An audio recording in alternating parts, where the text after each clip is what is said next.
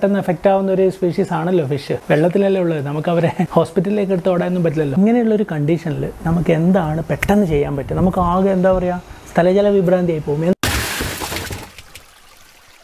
പണി ഏത് സമയത്തും വരാം. എന്താ പറയുക കഷ്ടകാലം കാറ് പിടിച്ച് വന്നു എന്നൊക്കെ ദിലീപിന്റെ സിനിമയിൽ പറഞ്ഞ പോലെ പണി ഏത് സമയത്ത് വേണേലും വരാം. അത് എല്ലാ ജോലിയിലും ഉണ്ട്. ഫിഷ് കീപ്പിങ്ങിൽ കുറച്ച് കൂടുതലുണ്ട്. കാരണം വളരെ പെട്ടെന്ന് എഫക്റ്റ് ആവുന്ന ഒരു സ്പീഷീസ് ആണല്ലോ ഫിഷ് വെള്ളത്തിലല്ലേ ഉള്ളത്. നമുക്ക് അവരെ ഹോസ്പിറ്റലിലേക്ക് എടുത്ത് ഓടാനൊന്നും പറ്റില്ലല്ലോ.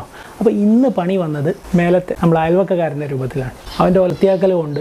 ആ വരാന്ത ഒന്ന് അടിച്ച് വൃത്തിയാക്കണം. ഒന്ന് പൈപ്പ് തരുമെന്ന് ചോദിച്ചു. ഞാൻ ഈ ഒരു അപകടം വിചാരിച്ചില്ല. ഞാൻ പൈപ്പ് കൊടുത്തു. പൈപ്പ് ഓണാക്കിയ ഉടനെ പുള്ളിക്കാരൻ ഫുള്ളായിട്ട് അങ്ങ് ഡെറ്റോളോ അല്ല ഇനി സോപ്പോ എന്തോ ഇട്ടങ്ങ് കഴുകി കംപ്ലീറ്റ് വെള്ളം ഈ വരാന്തയിൽ താഴോട്ട് ജപ്പി ടാങ്കിലേക്ക്. ഇതുവരെ കാഷ്വാലിറ്റി ഒന്നും ഇല്ല. പക്ഷേ ഇങ്ങനെയുള്ള ഒരു കണ്ടീഷൻ ഉണ്ടായി കഴിഞ്ഞാൽ നമ്മൾ കുറച്ച് കെയർഫുൾ ആയിരിക്കണം. ഞാനിപ്പോൾ ഇതിൽ നിന്ന് എല്ലാത്തിൽ നിന്നും കുറച്ച് കുറച്ച് എടുത്ത് നമ്മുടെ കോയിപ്പോണ്ടിലേക്ക് ഇട്ടു ഫിഷുകളെ ഇവിടെ കംപ്ലീറ്റ് സോപ്പിന്റെ മണമാണ് അവൻ എന്തോ ഇതിന് മാത്രം വരാന്തയിൽ ചെയ്തത്? സാധിച്ചോ ആവോ വരാന്തയിൽ അവിടെ ഒരു പട്ടിയുണ്ട്.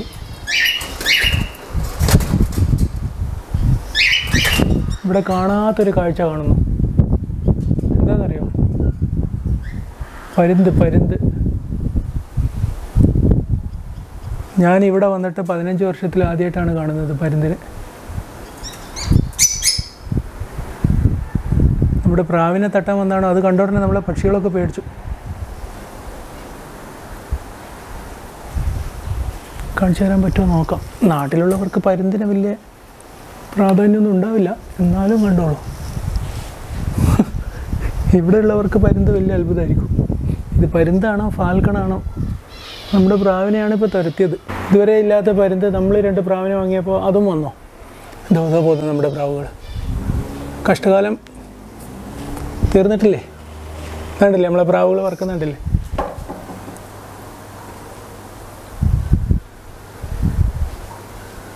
അപ്പോൾ കഷ്ടകാല അയൽവക്കക്കാരന്റെ രൂപത്തിൽ മാത്രമല്ലെന്ന് തോന്നിട്ട് ഇന്ന് ഇന്ന് പരുന്തിന്റെ രൂപത്തിൽ ഇതോ പോന്നു.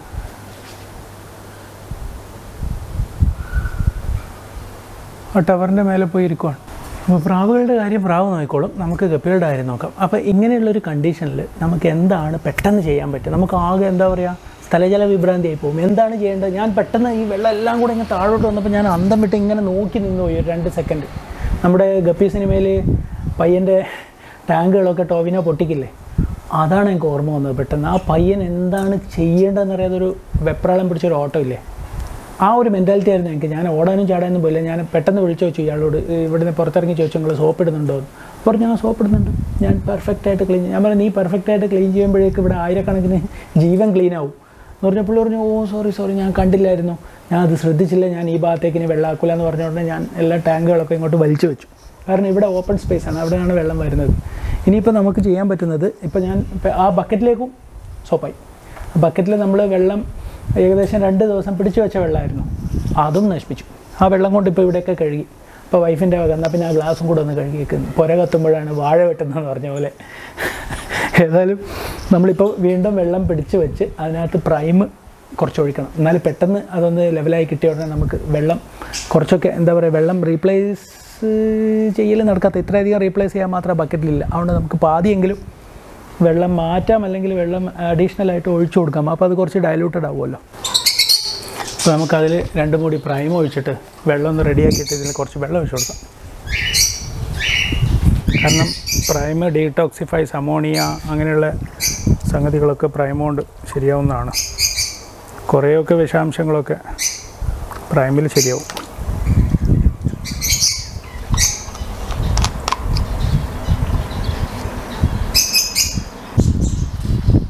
എന്റെ നാല് എക്സ്റ്റൻഷൻ പ്ലഗാണ് കാലമട നശിപ്പിച്ചത്. വെള്ളം കയറി. ഈ വെള്ളം കയറിയ എക്സ്റ്റൻഷൻ പ്ലഗ് ഓൺ ചെയ്ത് കഴിഞ്ഞാൽ പെട്ടെന്ന് ഡ്രിപ്പ് വീണു. എല്ലാം വെയിലിൽ വെക്കട്ടെ.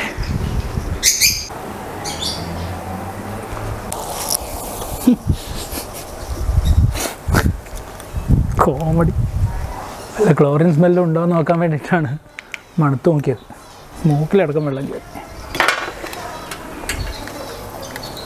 എല്ലാവരും നമ്മളെടുത്ത് ഓരോ സാധനങ്ങൾ അങ്ങ് കടം വാങ്ങിക്കൊണ്ട് പോവാണ് സബ്മേഴ്സിബിൾ മോട്ടർ ഇന്നലെ ഒരു ഫ്രണ്ട് കൊണ്ടുപോയിട്ടില്ല കൊണ്ടുവന്നിട്ടില്ല. അതുകൊണ്ടിപ്പോൾ അക്കൂറത്തിന്റെ ഓവർ ഹെഡ് ഫിൽറ്ററൊക്കെ വെച്ചാണ് ഇപ്പോൾ ഇവർ ഇത് ശ്രമിക്കുന്നത്. നടക്കുമെന്നറിയില്ല അപ്പോൾ ഇന്ന് നമ്മൾ ചോദിച്ച് വാങ്ങിയത് കണ്ടില്ലേ? നമ്മുടെ പൈപ്പ് വാങ്ങി നമ്മളോട് വെള്ളവും വാങ്ങി നമ്മൾക്ക് തന്നെ പണി തന്നു. ഇംഗ്ലീഷുകാരൊക്കെ കൊള്ളായതല്ലോ. അതല്ലേ ചരിത്രം?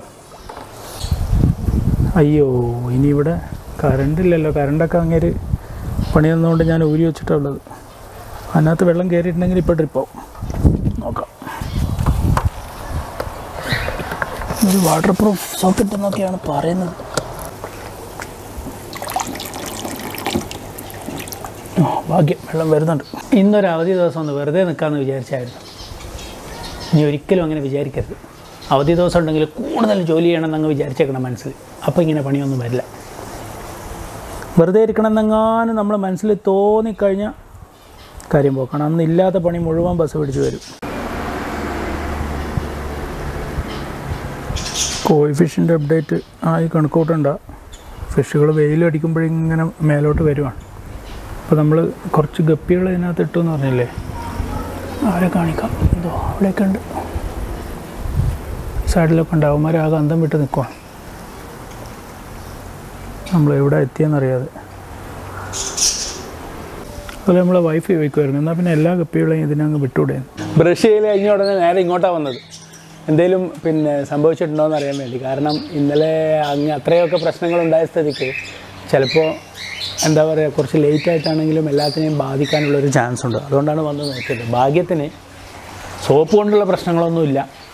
ഹീറ്റർ ഇല്ലാത്ത പ്രശ്നങ്ങളേ ഉള്ളൂ. എല്ലാം ഇങ്ങനെ താഴെ പോയി ഇനാക്റ്റീവായിട്ട് നിൽക്കുവാണ് അത് തന്നെ ആൽഗെ കൂടുതലുള്ള ടാങ്കിൽ മാത്രമാണ് താഴോട്ട് പോയേക്കുന്നത്. കാരണം ആൽഗെ കൂടുതലുള്ള തണുപ്പ് കൂടും.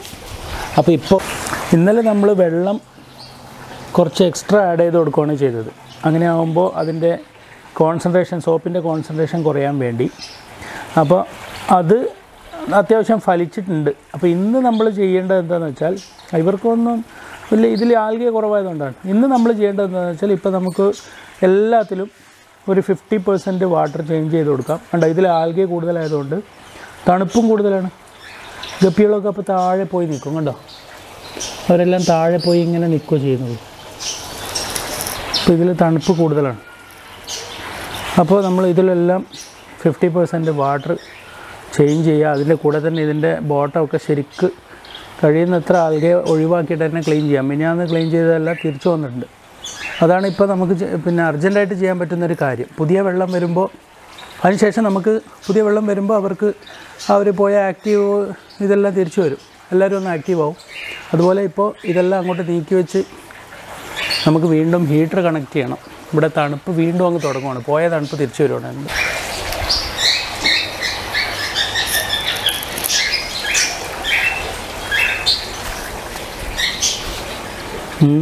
തണുപ്പ് അപാര തണുപ്പാണ് ഭയങ്കര തണുപ്പാണ് വെള്ളത്തിൽ ടാങ്കിന്റെ സൈഡിലുള്ള ഈ സ്ക്രൂ ഉണ്ടല്ലോ. എത്ര തവണയായി ഇപ്പോൾ കാലിൽ കുത്തുന്നതെന്നറിയാം? എന്നാലും നമ്മളത് പഠിക്കില്ല വീണ്ടും വീണ്ടും കുത്തിക്കൊണ്ടിരിക്കുവാണ്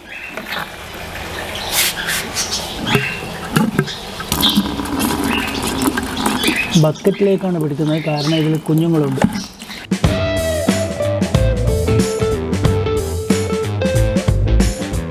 ഇതിലെന്തോ ഒരു ലാർവ വരുന്നുണ്ട്. എന്നാൽ ഈ ഗപ്പികളാണെങ്കിൽ അതിനെ തിന്നുന്നുമില്ല. എന്ത് ലാർവയാണെന്ന് മനസ്സിലാകാത്തത്? ഇതോ ഫ്ലൈസിന്റെ ലാർവയാണ്. ഗപ്പി തിന്നേണ്ടതാണ് ശരിക്കും. എന്തുകൊണ്ടാണ് തിന്നാത്തതെന്ന് മനസ്സിലാകത്ത് അത് തന്നെ എല്ലാ ടാങ്കിലും ഇല്ല. ആൽഗയുള്ള ടാങ്കിലേ ഉള്ളൂ. ആൽഗയുടെ ദോഷഫലങ്ങൾ പറയുമ്പോൾ ഇനി അതും കൂടെ ആഡ് ചെയ്യേണ്ടി വരുമോ ആൽഗ അങ്ങ് ഷീറ്റ് പോലെ ഇരിക്കുക ക്ലീൻ ചെയ്തിട്ട് ഒരാഴ്ച പോലും ആയില്ല. ഈ പണി വന്നുകൊണ്ടാണ് ഇല്ലെങ്കിൽ ഇത് ഇപ്പോഴൊന്നും ക്ലീൻ ചെയ്യേണ്ട കാര്യമില്ല. ഈ ഫോക്സ് സ്റ്റൈലിൽ നിന്ന് ആൽഗെ വേർതിരിച്ചെടുക്കൽ വലിയ പാടുള്ള പണിയാണ്. ഒരു കുഞ്ഞു വന്നിട്ടുണ്ട്. പാവങ്ങൾ തണുത്ത് മരവിച്ച് നിൽക്കുവാണ് ഒരു കുഞ്ഞിനെ കണ്ടായിരുന്നല്ലോ അപ്പോൾ അവിടെ പോയി? ഇതിലേക്ക് തന്നെ തിരിച്ചു വിടാം ടാങ്കൊക്കെ അങ്ങോട്ട് നീക്കി വെക്കാൻ തോന്നി ഇനി ഇവന്റെ ക്ലീൻ ചെയ്യൽ ഇനി ഉണ്ടാവുമോ? ആ മനുഷ്യനെ പേടിപ്പിച്ചായിരുന്നു വേറെ എന്ത് ചെയ്താലും നമ്മളെന്നും ആർക്കും തോപ്പിക്കാൻ പറ്റില്ല. പക്ഷേ നമ്മൾ പെറ്റ്സിനെ തൊട്ട് കഴിച്ചാൽ പെട്ടെന്ന് നമ്മളെ തോപ്പിക്കാം.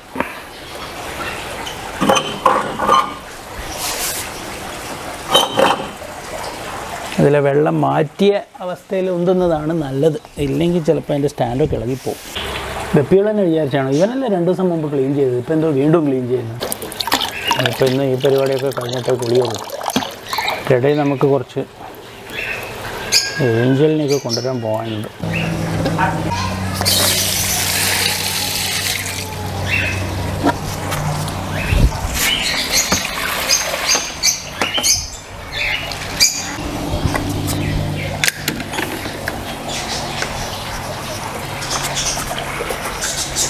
അപ്പോൾ നമ്മളെല്ലാവരും എന്ത് എമർജൻസി സിറ്റുവേഷൻ വന്നാലും ഹാൻഡിൽ ചെയ്യാൻ ഹാൻഡിൽ ചെയ്യാൻ നമ്മളൊരു എന്താ പറയുക മാനസികമായ ഒരു തയ്യാറെടുപ്പ് എപ്പോഴും വേണം. ആർക്കും ഇതുപോലെയൊന്നുള്ള എന്താ പറയുക വൃത്തികെട്ട എമർജൻസി സിറ്റുവേഷൻസ് ഒന്നും വരാതിരിക്കട്ടെ. വൃത്തികെട്ട ഗപ്പിയല്ല കേട്ടോ വൃത്തികെട്ട ഓക്കെ കടന്നലിന് കണ്ടോ? ഇപ്പോൾ ഈ നാട്ടിൽ കടന്നലുണ്ട് കേട്ടോ വെള്ളം കുടിക്കാൻ വരുവാണ്. കടിച്ച വിവരം അറിയും നമ്മുടെ നാട്ടിലേക്കാളും എന്താ പറയുക കാരം കൂടിയതായിരിക്കും ഇത്. അയ്യോ ഉപദ്രവിക്കല്ലേ ഞാൻ നിന്നെ ഒന്നും ചെയ്യില്ല ഞാനൊന്ന് പോയി ഒരു കപ്പ് ചായ കിട്ടുമോ